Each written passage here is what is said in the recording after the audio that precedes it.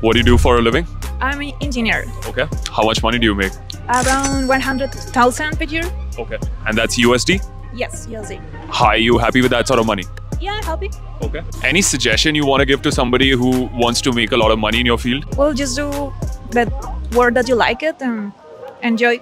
Okay. Nice. And originally, which part of Mexico are you from? I am from Sonora, from the north of Mexico. Okay. Nice. And what sort of educational qualifications do you have? I have a bachelor degree. I'm an engineer, electronics engineer, and I also have a master on Oh, nice. business business administration. That's great. And how often do you get certified? Two years, something like that. Okay. Okay. And how many years of experience do you have? Around 11 years. Okay. Any experience in your job that you felt was pretty awkward? Oh, I've been in the beginning of my career when I have to do layout stuff and everything. Okay. Yeah. Okay.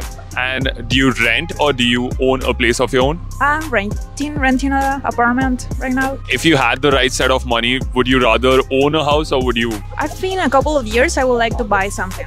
Okay. Yeah. Awesome. So there's no housing crisis going on in your city where you live? No, not right now. Okay. Awesome. Thank you so much for your time. We